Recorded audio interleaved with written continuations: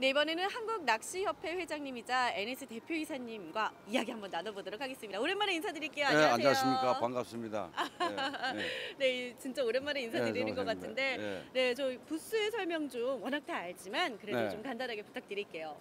예, 저희 회사는 지금 여기 그 킨텍스 보트 전시에 회사가 처음 한 4년 전부터 음, 참관하게 되었습니다. 네. 역시 제가 생각할 때는 이 보드하고 네. 낚시하고 거의 같은 적이라서 네. 예, 저희 회사 4년부터 참관하게 되는데 네. 예, 저 보다시피 아마 보드에다가 저희 회사 브랜드를 넣어가지고 오, 네. 어, 전시했습니다. 저기 보시면은 저희 회사는 그 100% 국산 보드였는데 어, 네.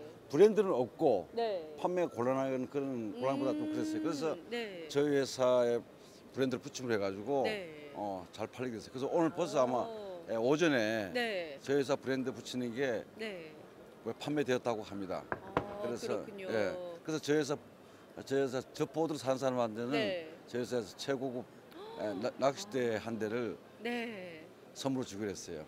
역시 뭐 대한민국의 대표 낚시 회사이지 않을까 생각이 드는데 이게 바로 감사합니다. 브랜드의 힘이지 않나 생각이 듭니다. 그렇죠. 네, 예. 말씀하셨다시피 낚시 산업과 보트 산업 뗄래야 될 수가 없는데 예. 낚시 산업과 보트 산업이 어떻게 함께 발전해 나가기 위해서는 어떻게 해야 될지 고견 좀 여쭙도록 할게요.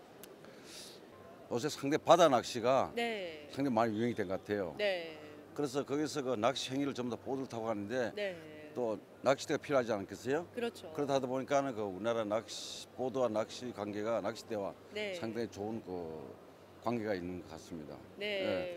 여기 VIP 관계자들하고 네. 쭉 봤는데 전부 다 보드 그 산업 안에서 그게 음. 상당히 그 저희 도시 여부 때문에 네. 보드가 많이 팔린다고 어. 낚시를 많이 하기 때문에 팔린다고 그런 이야기를 많이 들었습니다.